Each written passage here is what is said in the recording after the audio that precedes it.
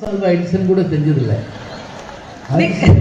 கொடுக்குறாங்கன்னா சோறா சமைக்கிறோங்கய்யா மல்லிகை ஜாமான் வாங்க சாதாரணமா ஒரு ஆண் கொடுக்கக்கூடிய உயிர் துளியை கூட தன் உயிரை பணயம் வைத்து இந்த உலகத்திற்கு ஒரு குழந்தை என்ற உருவமாக கொடுக்கக்கூடியவள் பெண்ணுன்னா அந்த பெண் நிர்வாகத்துல சிறந்தவள தானங்க இருக்க முடியும் இல்லைன்னு சொல்ல முடியுமா? அப்ப முந்தானத்து என் போட்டோவை Facebookல போட்டிருந்தாங்க. எங்க அண்ணா லைக் போட்டாங்க.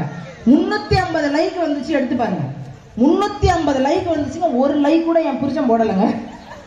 இருந்தாலும் அதை நினைச்செல்லாம் நாங்க வருத்தப்பட எல்லாரையும் ஒரே மாதிரி பார்ப்பா ஆண்களுடைய இயல்பு. ஆனா உங்களுடைய இயல்பு என்ன தெரியுமா? பெண்ணுடைய இயல்பு என்ன தெரியுமா?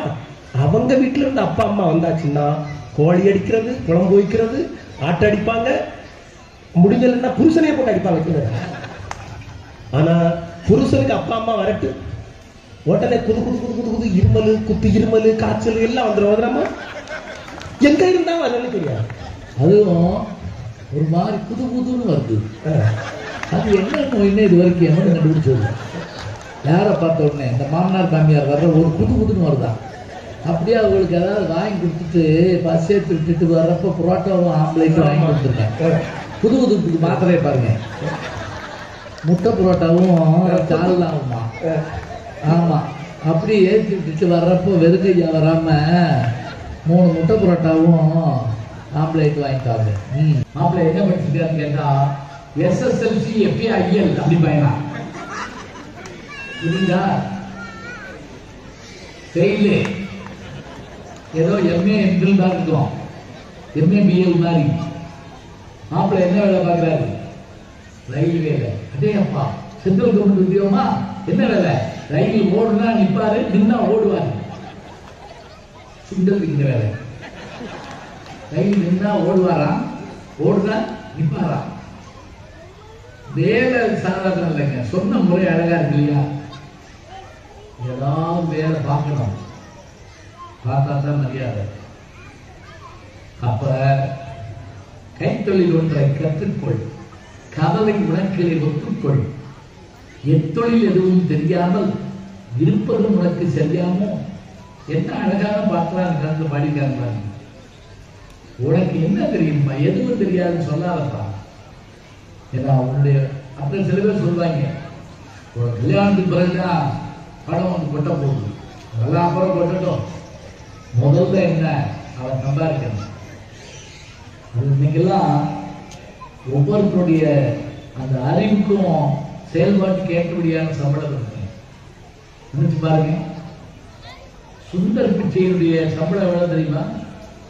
தமிழ்நாட்டில் சென்னையில் பிறந்தவர் அமெரிக்காவில் கூகுள் நிறுவனத்துடைய சிஇஓ சம்பளம் எவ்வளவு தெரியுமா? ஆயிரத்தி எண்ணூத்தி ஐம்பது கோடி. ஆயிரத்தி எண்ணூத்தி ஐம்பது கோடி. நம்ம தெருக்கோடியில் நின்று வாங்கிட்டு இருக்கோம். அவர் படித்த சிலபஸ் படிச்ச அதே ஆட்கள் ஏன் சாதாரண சம்பளம் வாங்குறாங்க?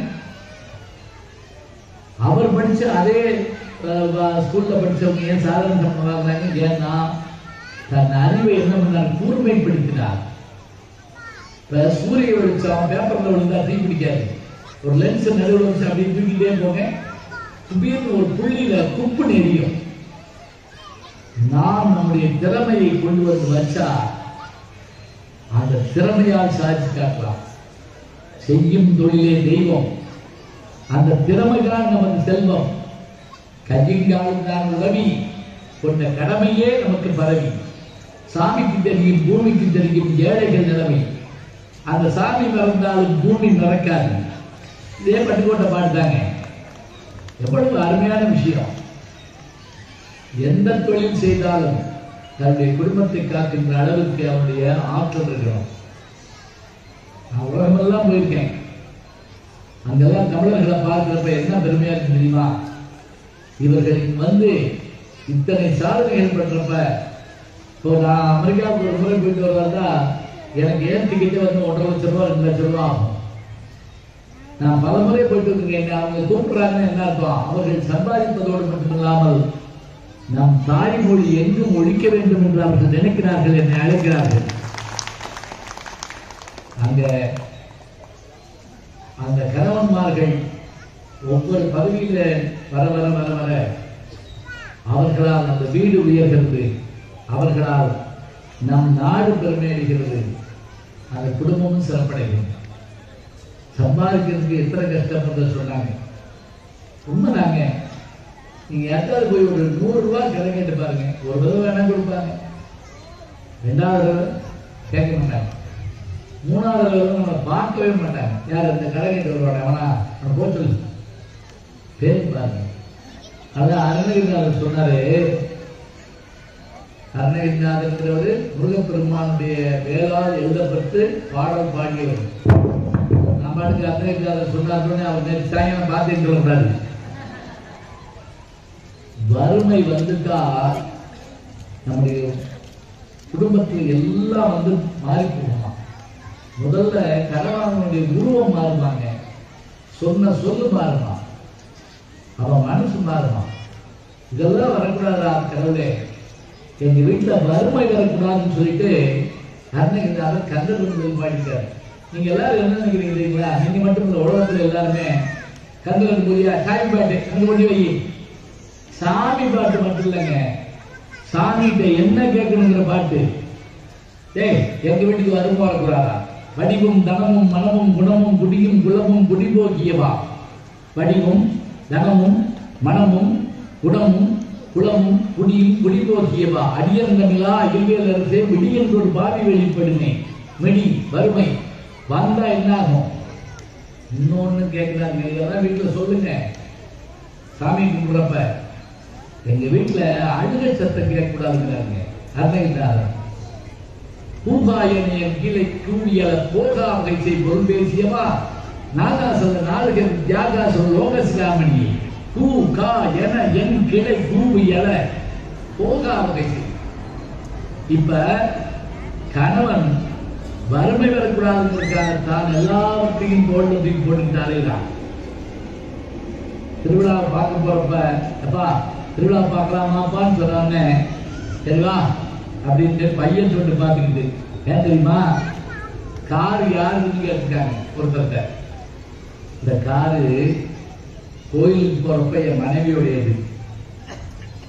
மாலுக்கு போறப்ப என் மகளோடது பாருக்கு போறப்ப என் பையனோடது பெட்ரோல் பல்க்கு போறப்ப என்னது?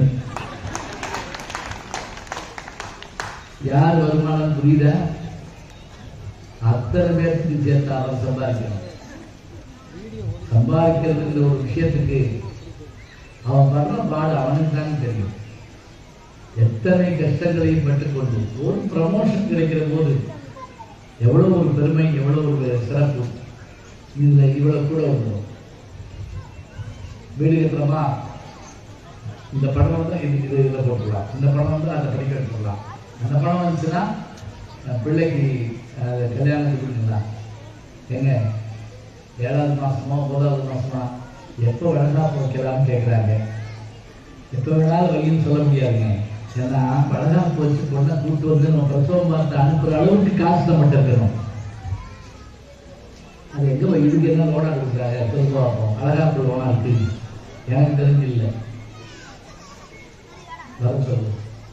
அதுவும் சம்மந்தி வீடுகளில் ஒரு சின்ன பிழை வந்தா கூட ஆமா உங்க அப்பேர் போல. அப்படின்றார் ஆரியாசாமி சொல்லுவாரு முப்பது வருஷமா தீபாவளிக்கு புதுவேட்டி வாங்கி கொடுத்துருப்பாராம் பொண்ணோட அப்பா.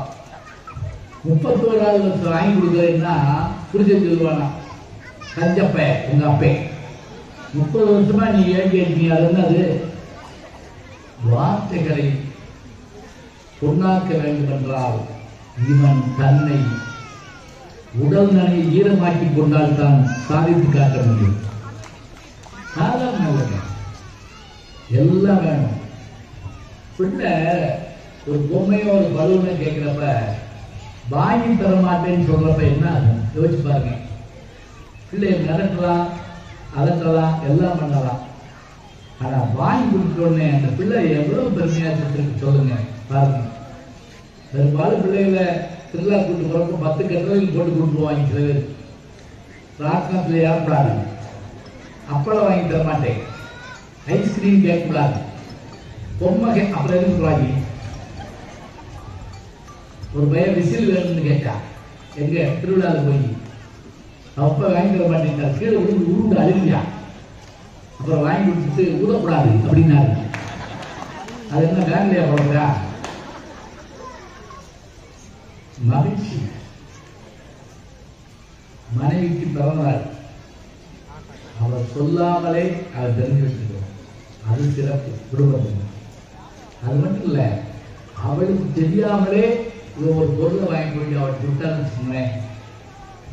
அது மாதிரி மனுஷி என்ன இருக்கு? சரி அவளே வாங்கி சொல்றான் எனக்கு நீங்க திறந்தாள் உடனே என்ன செய்யலாம்? அப்படியே ஒரு நிமிஷம் டக்குன்னு ஏதாவது இது பண்ணி. பத்து நிமிஷம். ஏதாவது ஒரு பார்சல் வந்து வாங்கிக்கோ. சொன்னா தானே அவர் மகிழ்வான்.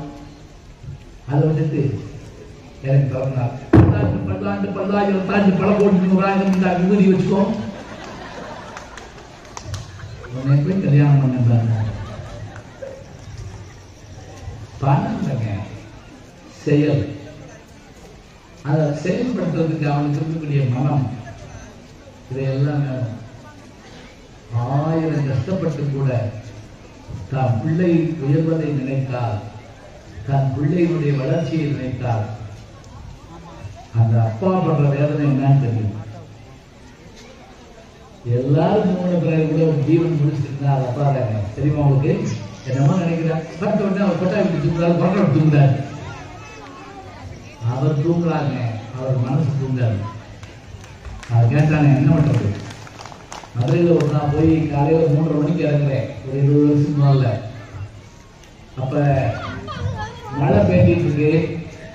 ஒரு சைக்கிள் ரிக்ஷாக்காரர் வந்தாரு. அப்ப எல்லாம் ஆட்டோ அதிகம் கிடையாது. என்னையா நேரத்துல கேட்டேன். அவர் என்னைய கேட்கிறாரு என்னையா நீங்க நேரத்துல? பஸ் இல்லையா? நின்றுட்டு இருக்கேன் ஏங்கய்யா அவர் நினைஞ்சுக்கிட்டு என்னைய நினையாம மிதிச்சு கொண்டு போறாரு? என்னைய நேரத்துல மணி மூன்றரைக்குன்னு கேட்டேன். பொண்ணு இல்லையா? சின்ன பிள்ளை எட்டாவது படிக்கிற நாளைக்கு எக்ஸ்கர்ஷன் போறாங்களாம் டூர் போறாங்களாம் ஐம்பது ரூபா வேணும்னு கேட்டுச்சு. கையில் இல்லை. அவர் என்ன மாசப்படம் வாங்க போறாரு. இல்லை இல்லை. தூக்கம் இல்லையா நைட்டு ரெண்டு சுத்து வந்தேன். இருபது ரூபா எடுத்துச்சு இன்னொரு முப்பது ரூபா எடுத்தா எட்டு மணிக்குள்ள பிள்ளை பள்ளிக்கூடத்தில் போய் பணத்தை கட்டிட்டேன்னா டூர் போயிட்டு வர என் பிள்ளை வாழ்நாளெல்லாம் எங்கள் அப்பா எனக்காக ராத்திரி சைக்கிள் ஓட்டான்னு சொல்றாரு எனக்கு இங்கேருந்து கிடைக்க போச்சு. நான் ஐம்பது ரூபாய் அவருக்கு எடுத்து கொடுத்து ஐயா கொண்டிருக்கீங்க பிள்ளை கொடுங்க அப்படின்னு. அதாவது இருபது ரூபாய் கொடுத்து எடுத்துட்டு அந்த முப்பது ரூபாய் கொடுத்துட்டு உழைக்காம வர்ற காசு ஒட்டாதியா? ஒரே வார்த்தை. செத்த காப்பி காய்ச்சி இந்த எண்ணம் வரணுங்க. சும்மா நினைக்கிறாங்க தினமும் பேப்பர்ல பார்க்கலாம் அப்படிங்கிறோம் இப்படிங்கிறோம் பார்த்தோன்னே மிச்சமா இருக்கு நமக்கு அப்படி. குமரகுருபரர் சொன்னார் எப்படி? செல்வம் என்பது சிந்தையின் நிறைவுன்னார் டே பணம் போதுங்கிற விஷயத்த உன்னுடைய மனசு சொல்லணும்டா. நம்முடைய உடம்பினுடைய பயாலஜி எழுதுறீங்களா? சாப்பாடு போதும்னு வயிறு சொல்லாதாங்க மூளை தான் சொல்லுமா. அதுக்கு என்ன ஆதாரம் தெரியுங்களா? ஒரு முறை மனநலம் இல்லாத அந்த குழந்தைகளுடைய காப்பகத்துக்கு நான் போப்ப போனப்ப அவர்களுக்கு அன்றைய விருந்து நான் கொடுக்குறேன்னு சொல்லிட்டு நான் எல்லாருக்கும் எல்லா வகையான செஞ்சு குடும்பத்தோடு கொண்டு போய் அந்த பிள்ளைகளுக்கு கொடுத்தேன். ஆர்வத்தில் கொடுக்க கொடுக்க கூட பிள்ளை வாங்கிட்டு அப்ப அங்க இருந்து ஒரு அம்மா வந்து என்கிட்ட கைப்பிடிச்சிட்டு அப்படின்னு என்னன்னு கேட்டேன். அவங்களுக்கு வயிறு நடந்தது தெரியாதியா? சாப்பிட்டுட்டே இருப்பாங்க. வாந்தி வந்துடும் நாங்கள் போய் வாந்தி எடுத்துட்டு ஆயிரத்தி திருப்பி சாப்பிட வந்துடுவாங்கயா அவங்களுக்கு போதுங்கிற விஷயத்தை சொல்ற மனசு மூளை அவங்களுக்கு வளர்ச்சி இல்லாததால் அவங்க வாங்கி சாப்பிட்டுட்டே இருப்பாங்க. வந்து நடுங்கி போனேன் அப்படி எத்தனை பேருக்கு இதெல்லாம் தெரியும்? சொல்லுங்க பார்க்கலாம் நம்ம புத்தகங்கள்ல சில விஷயத்தை படிக்க தவிர்க்கிறோம். சில இடத்துக்கு போக பயன்படுறோம். ஆனால் அத்தனை பொறுப்பையும் அத்தனையும் எடுத்துக்கொண்டு தாங்கக்கூடிய தன்மை வருமானம் என்ன? பிரசவங்கிறப்ப வலி வேதனை எல்லாம் உண்டு.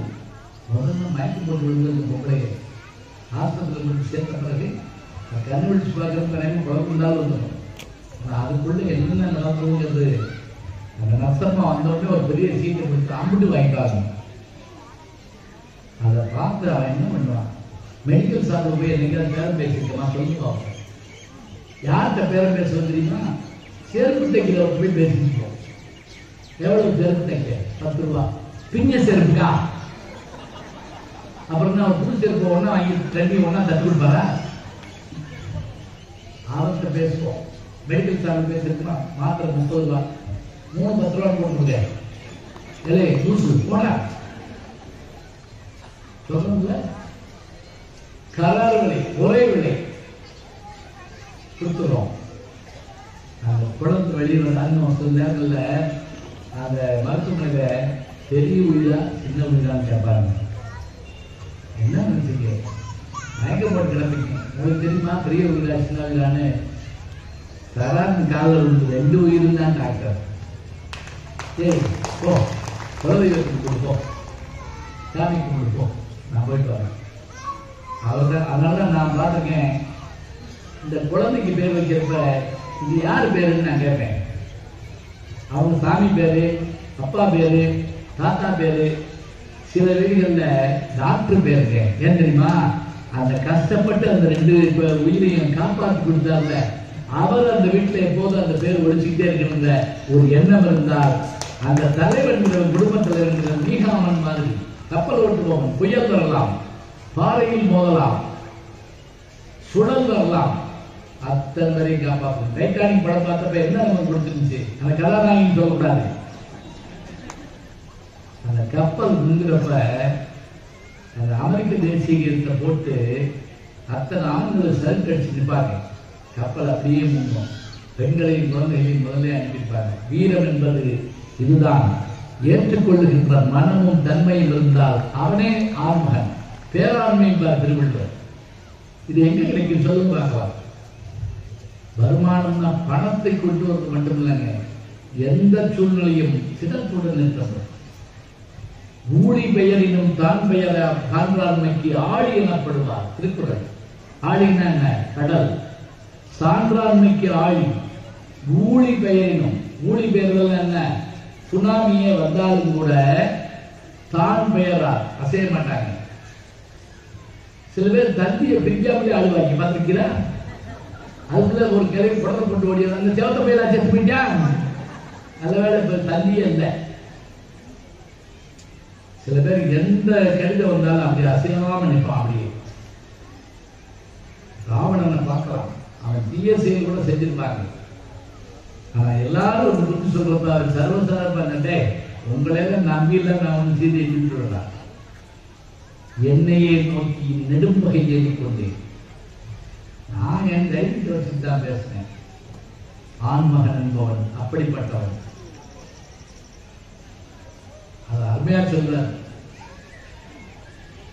வறுமையை நினைத்து பயந்து விடாதே சிறவில் இருக்கு மறந்து விடாதே திருடாதே பாப்பா திருடாதே திட்டம் போட்டு திருடுற கூட்டம் திருடிக் கொண்டே இருக்குது அதை சட்டம் போட்டு தடுக்கிற கூட்டம் தடுத்துக் கொண்டே இருக்குது. திருடனாய் பார்த்து திருந்தாவிட்டால் திருட்டை ஒழிக்க முடியாதுன்னு சொன்னா அத்தகைய பெருமையை பார்க்கிறோம். வருமானத்தின் மூலமாகத்தான் அந்த குடும்பத்தின் கொடியை பறக்க விடுகிறான் கணவன் ஆதலால். வருமானம் தான் இல்ல இல்ல பிடிக்கல. ஹலோ ஓடி வீடு கொடுக்குறீங்க அடுத்த குடும்பத்துக்கு அட்வான்ஸ் வாங்கிக்கிறாங்களா இருந்து போக போகலாம் போகலாம். அது உங்க வந்து தாண்டி போகலாம் இந்த வழி தான் போகணும். இவ்வளவு சொல்லி தந்த வருமானத்தை அவர் ஆமாண்டு போக வேண்டியதாங்க அப்படி இல்லைங்க. அவ்வளவு செயல்பாடும் செஞ்சவங்க இன்னொரு துணை வேணும்னு நினைக்கிறாங்களே அது காரணம் என்ன?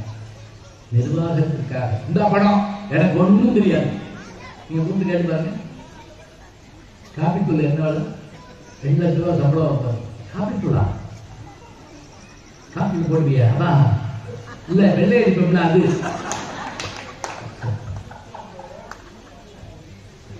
ஒரு கிலோ காப்பித்தூள் காய்கறி நம்ம வீடுகளில் நான் எங்க வீட்டு வந்து சொல்றேன் இந்த ஒன்னாம் தேதி பாரு கணக்கு விடுவோம் என்ன வருது என்ன போடணும் அப்படின்னு ஒவ்வொரு வட்டமும் நாம் என்ன இப்ப கூடி போச்சா இப்ப கூடி போச்சா தெரியாது எனக்கு பூவேசா எழுதாருங்க உத்தமதான வெங்கட்ராமன் சாமிநாதன் தன்னுடைய வாழ்நாளில் என் எழுதாரு என் வாழ்க்கையில் உப்பு புளி மிளகாய் போன்றவற்றுடைய விலை தெரியாத அளவுக்கு என்னை பார்த்து கொண்டார் என் மனைவி என் பெற்றோர்கள் பார்த்து கொண்டார்கள். ஆதலால் நான் தமிழுக்கு உழைத்தேன். இவங்களுக்கு தான் தெரியும். பணத்தை கொடுத்துருங்க சில பேர் கொடுத்து என்று எதுவும் கேட்கிறார் நான் காசி ராமேஸ்வரம் போயிருவேன். எந்த ஊருன்னு சொல்லிட்டு போகணும். அந்த மாதிரி கேட்கணும். காசியா ராமேஸ்வரமா? எப்ப பார்த்தா ரெண்டு ஊர் சொல்லி தேட முடியாது.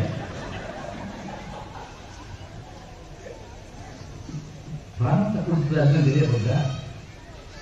ஒண்ணு வேண்டாம். பிள்ளைய பள்ளிக்கூடத்துக்கு கூட்டு போறப்ப படுற பாடு. இங்க இருந்து நாங்க வாட்டி பள்ளிக்கூடம் போவோம்? ஒன்பது மணிக்கு பள்ளிக்கூடம் எட்டு மணிக்கு நான் கிளம்பி தெருவே சுத்தி போவேன். நான் எங்க குட்டி ஓட்டுச்சு பிள்ளைய போட்டா ஓட்டுக்காங்க அந்த கிளம்பி திரும்பி ஆள் காரணம். இவ்வளவு பார்த்துட்டு நான் பள்ளிக்கூடம் போயிருவேன் நான் ஒன்றா கூட காண போறதில்லை இன்னைக்கு பிள்ளைங்க பள்ளிக்கூடத்துக்கு அனுப்புறதுக்கு வரல பாடு ஒரு வீட்டில் கம்பெடுத்து ஓடினாங்க எல்லாரும் நான் பாம்பு தான் அடிக்கிறாங்கன்னு நினைச்சேன் ஒரு எல்கேஜி பிள்ளை பள்ளிக்கூடத்துக்கு அனுப்புறாங்க குடும்பமே விரட்டி பிடிச்சி ஓடி ஒரு அம்மா பவுடர் போட்டு ஒரு அம்மா இட்லியை வச்சு குத்து முழுக்கு முழுக்கு ஆட்ட போறவன்ட்ட இன்னொரு இட்லி கூட்டி ஆட்டோக்கார கூட்டி பிடிச்ச முடியாது நான் போறாரு அவர் நான் வாழ்த்தாரன்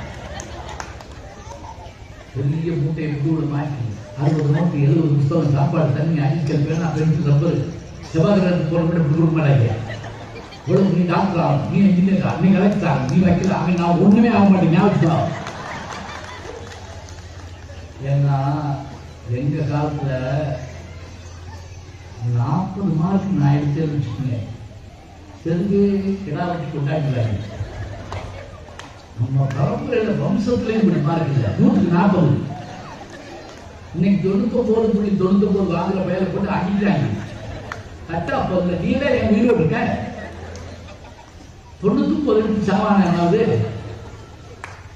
கிருப்பிடிச்சவங்க எல்லாரும் ஆக்கி விட்டாங்க நம்மளை ஹோம்ஒர்க்கு பாதி தாய்மார்களுக்கு தான் பிரச்சனை. இங்கெல்லாம் மெசேஜ் வராதுங்க இப்போ வந்துட்டே இருக்கு. பேரண்ட்ஸ் எங்க நான் வருவேன் நான் வருவேன் நான் வந்து ஈரான் ஈரான் யுத்தத்துக்கு போறேன். என்னைக்காவது பேரண்ட்ஸ் மீட்டிங் போயிருக்குமா? அப்பாக்கள் இங்க போய் அவங்க கேட்கிற கேள்விக்கெல்லாம் பதில் சொல்லி. ஏன் இப்படி இருக்கா? ஏன் என்ன சொல்றது? ஏன் அங்கால அப்படி இருக்கா? அதனால நீ இப்படி இருக்கா? ஆமா. ஒரு குழந்தை அம்மாட்ட கதை கேட்டுச்சான் நான் கதை சொல்லுங்க. நான் என்ன சொல்றேன் உனக்கு?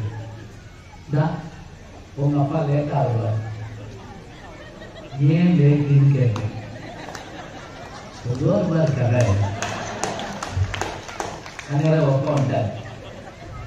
ஏன் லேட்டு எங்க மேனேஜர் விட்டேன் ரெண்டு பிளேட் சொன்னேன். கதை சொல்லணும். சாப்பாடு சொல்லணும் இன்னும் கூட குழந்தைங்களுக்கு குழந்தைகளுக்கு சாப்பாடு விடுறப்ப ஆர்வத்தோடு டிஃபன் பாக்ஸ் திறக்கிறப்ப சில பேர் பேரு தயிர் சாதத்தோடு மட்டும் இல்லைங்க இந்த ஊர்காயவே நிலா மாதிரி டிசைன் பண்ணி வச்சிருப்பாங்க. அது மாதிரி எடுத்து அப்படி கேட்பேன் எங்க அம்மா பத்தியாரா செய்ய பார்ப்போம் இல்லையா பழைய சோறு எப்படி வருது தெரியுமா உங்களுக்கு இருக்கும் எதுன்னு சொல்றேன். அடுத்துக்கெல்லாம் செய்யறது இல்லைங்க அதை அழகா மாத்தி செய்யணும்.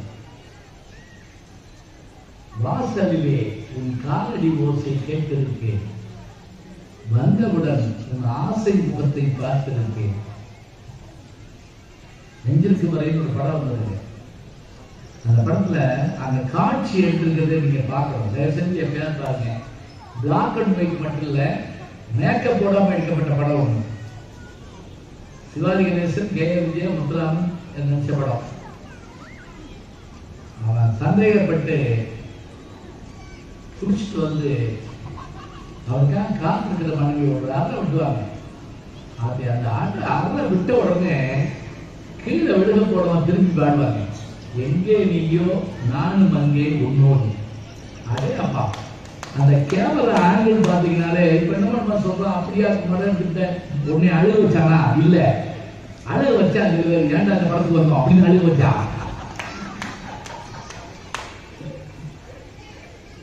இது வேணும். அத்தனையும் பொருத்தம்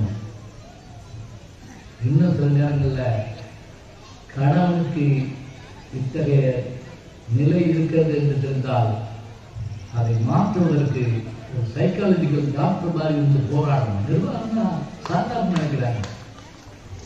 விடுங்க. அவன் பெரியாருன்னு அவன் அவன் போய் நினைச்சிட்டு அவன் ஏன் தூங்கலைங்கிற விஷயம் அவனுக்கு தெரியும். அப்பா பிறந்துட்டு இருந்தா பேசாமடா தூங்கலடா வேணாம்டா. சும்மா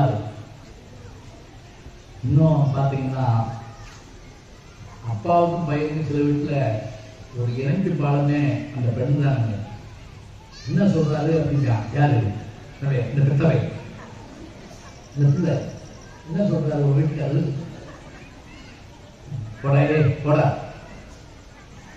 அவனை மூஞ்சில் முக்கிய வேணான்னு சும்மா இருக்கு அதனால நம்ம கொள்ளி வைக்க இந்த ஒரு வாரத்தில் எல்லாம் அறிஞ்சு இத்தனை வேணும் அதனாலதான் தங்கப்பதக்க படத்துல சுமை தாங்கி சாய்ந்தால் சுமை என்ன ஆகும்? அதே அப்பா. அந்த படம் நீங்க எதுல இருந்து நினைச்சாலே ஆச்சரியப்பட்டு போவீங்க சர்தார் வல்லபாய் பட்டேலுடைய வாழ்க்கையில் நடந்த சம்பவமாக ஒரு கோர்ட்ல கொலைகேஸ்க்காக வாதாடிட்டு இருக்காங்க ஒரு ஏழைக்காக சர்தார் வல்லபாய் பட்டேல். ஒரு பெருசா தலை அது ஏன் கேட்கிறாங்க ஒரு வாழ்க்கை வரலாறு படிக்கிறேன் போயிட்டு இருக்கு கேஸ் போயிட்டு இருக்கு அன்னைக்கு தான் நான் இது ஜட்ஜ்மெண்ட்டுக்கு முன்னாடி ஒரு ஆர்குமெண்ட் போயிட்டு இருக்கு ஒருத்தர் வந்து ஒரு பேப்பர் கொடுக்குறான். வாங்கி பார்க்குறாரு. பைக்கில் வச்சுக்கிறாரு பதினோரு மணிக்கு ஆகுது மூணு மணி வரைக்கும் கேஸ் போடும் மூன்றரைக்கு மேல நீதிபதிட்ட ஒரு சின்ன அனுமதி கேட்கிறார். சகையோட வேலை வீட்டுக்கு போடலாம் என்ன இடையில ஏதோ சவால் தான் வருது என்ன என்ன தோணுன்னு கேட்குறீங்க? நீதிபதி கேட்கிறார். என் மனைவி இறந்துட்டதா? செய்தி வந்திருக்கு. ஏன் நீங்க போல நீதிபதி பலத்தோட கேட்டார் உங்க மனைவி உயிர் முக்கியம் இல்லையா? என் மனைவி உயிர் முக்கியம் என்னை நம்பி இருக்கக்கூடிய என்னுடைய அந்த கட்சிக்காரன் உயிர் அதை போலவே முக்கியம். அதனால் அதற்காக இருந்தேன். என்று போராடினார் அதைத்தான் தங்கப்பதக்கத்தில் வச்சிருப்பாங்க உன் மனைவி இறந்துட்டாங்கன்னு செய்தியை கேட்டவுடனே சிவாஜி ஒரு சல்யூட் அடிச்சுட்டு அது போறப்ப இந்த சிங்கம் ஒரு தடுமாறு பாருங்க. அதே அப்புறம்? கை நிறுத்திடுவான் அப்படிலாம் படம் பார்த்தவங்க தெரியுமா உங்களுக்கு? இப்ப படம் பார்க்கறவங்க பார்த்தாலே நம்மளுக்கு கஷ்டமா இருக்கும். பாப்கார்ன் தின்னுட்டு காதில் மாட்டிக்கிட்டு ரெண்டு போனை வச்சுக்கிட்டு அப்படி துப்பிக்கிட்டு இப்படித்தான் படம் பார்ப்பாங்களா? படத்தோடு ஒன்றணும் குழந்தையின் அருகை. வயதானவர்களுடைய தேவை. கணவனின் மனநிலை சுற்றுச்சூழல் அத்தனையும் பாதுகாக்கணும். பாதுகாக்க முடியுமா? சேர்த்த பணத்தை சிக்கனமா செலவு பண்ண பக்குவமா? அம்மா கையில கொடுத்து போட்டு செல்லக்குன்னு அவங்க ஆற நூறு வாக்கு வாங்க செல்லக்குன்னு எப்படி? நேரு அவர்கள் இறந்த உடனே பிரதம மந்திரியாக இருந்த நேரு அவர்கள் இருந்த உடனே அடுத்து யாரு பிரதம மந்திரி? இந்தியாவை யாரை நோக்கி திரும்பியது தெரியுமா? தமிழகத்தை பெருந்தலைவர் காமராஜரை நோக்கி திரும்பியது அடுத்த தலைவனை அவர் சுட்டிக்காட்ட வேண்டும். என்ன பொக்கால பாருங்க. டெல்லி நம்மளை நோக்கி பார்க்குது யாரு? அடுத்த தலைவர் தான் நியமிக்கிறார் மொராஜி தேசாயா இந்திரா காந்தியா மற்றவர்களா? எல்லாரும் கேட்கிறாங்க அவர் யார தலைவர் ஆக்குனா தெரியுமா உங்களுக்கு? பிரதம மந்திரி ஆக்குனா தெரியுமா? அவருடைய அந்த அவர் அவருடைய வரலாறு நீங்க பின்னாடி போய் பார்க்கணும். எப்படி? காங்கிரஸ் ஆபீஸ்ல வடநாட்டில் ஒருத்தர் வேலை பார்த்துட்டு இருக்காரு. ரொம்ப நாள் வேலை பார்த்துட்டு இருக்காரு. ஒரு நாள் ஆபீஸ் ஆபீஸ்ல கேட்டாங்க என்ன என்ன வேலைக்கு வந்த சம்பள சம்பளமே வாங்க மாட்டேங்கிறேன் எவ்வளவு சம்பளம் வேணும் உனக்கு? எனக்கு தெரியல என் மனைவிட்டு கேட்டு வரேன். போய் கேட்டுக்காரு நம்மளுக்கு ஒரு மாசத்துக்கு எவ்வளவு செலவாகும்? அந்த அம்மா சொல்லியிருக்கு இருபது ரூபா அந்த காலத்தில் இன்னைக்கு இருபதாயிரம் ரெண்டு லட்சம் எது வேணாலும் வச்சுக்கோங்க. இருபது ரூபா இருந்தால் குடும்பத்தில் அனுப்பிடலாம் நேரம் ஓடினார் இருபது ரூபா இருந்தால் எங்களுக்கு போதும். மாச சம்பளம் இருபது ரூபா கொடுத்தாங்க. நாலு மாதம் ஆச்சுங்க. ஒரு நாள் வீட்டில் உட்காந்துருந்தார் பக்கத்தில் வீட்டுக்காரர் முடியாது ஆறு கல்யாணம் ஆரம்பிச்சு கார பூரா இருபது ரூபா நான் சொல்லி கொண்டு போகணும். ஏ இருபது ரூபாயை நான் சம்பளமே எப்படியா கொடுப்பேன்? நான் கூட ஒளியாக இருந்தாரு. இல்லை படம் வேணுங்க அதுக்குள்ள நம்ம அம்மா உள்ள பிடிச்சிக்குவாங்க இந்தாங்க இருபது ரூபா. பிள்ளைய போய் காப்பாற்றுங்க கொண்டு ஓடி போய் பிள்ளையை காப்பாற்றி கூட்டு வந்தாச்சு. வந்தவர் பேசாம இருக்க உனக்கு ஏது இருபது ரூபான்னு கேட்டாரு. நீங்கள் கொடுக்கிட்ட சம்பளத்துல பதினஞ்சு ரூபாய்க்குள்ள எல்லாத்தையும் முடிச்சுட்டு மாசம் அஞ்சு ரூபாய் மிச்சம் வச்சுருந்தேன். நாலு மாதத்தில் இருபது ரூபா எடுத்தது. அந்த இருபது ரூபாய் கொடுத்து அந்த பிள்ளை பழச்சிருச்சு உடனே அந்த கிரி பிடிச்ச மனுஷன் என்ன பண்ணாரு காங்கிரஸ் ஆஃபீஸ் ஓடி போய் இனிமே இருபது ரூபா கொடுக்காதீங்க. பாஞ்சு ரூபா கொடுங்க என் குடும்பத்தை காப்பாத்திடுவோம். அப்படி சொன்னவர் தான் ரயில்வே மந்திரியாக இருந்த போது இந்த அரியலூரில் ரயில் விபத்து வந்த போது தன்னுடைய பதவியை ராஜினாமா செய்தார். ரயில் விபத்துக்கு நான் தான் காரணம் நானும் தான் காரணம் என்று சொல்லி ரிசைன் பண்ணார் இப்போ ஒருத்தர் கொஞ்ச நாளைக்கு ஒரு பத்து வருஷம் முதல்ல ரெண்டு ரயில் சேரத்துக்கு மோதிச்சு அப்போ ஒரு அமைச்சர் வந்தார். அவர் எல்லாரும் ஆச்சரியமா பார்த்தாங்க. டிசைன் பண்ண போறாங்க அவர் என்ன சொல்றாருமா ரயில் விபத்துக்கு காரணம் ரயில் தான் அப்படின்னு சொல்லிட்டு போயிட்டாரு. இவர் டிசைன் பண்ணாரா? இவரை நினைச்சிட்டு அவரை அடுத்த பிரதம மந்திரி ஆக்கலாம்னு சொல்லி காமராஜ் அவர்கள் அவர் பேரை பரிந்துரைத்து அவரை பிரதம மந்திரியாக மாற்றினார் அவர்தான் லால் பகதூர் சாஸ்திரி அவர்கள். அந்த மனைவி பெயர் லலிதா சாஸ்திரி. ஒரு பெண் நினைத்தால் தன் குடும்பத்தை காப்பாற்றி நிர்வாகத்தால் பிற உயிர்களை காப்பாற்றி நிர்வாகத்தால் தன் கணவரை நாட்டின் பிரதம மந்திரியாக மாற்றிக்காட்ட முடியும் என்று சொன்னால் பெண்களின் நிர்வாகத்தால் தான் குடும்பம் மகிழ்ச்சியாக இருக்கிறது வெற்றி அடைகிறது நன்றி வணக்கம்.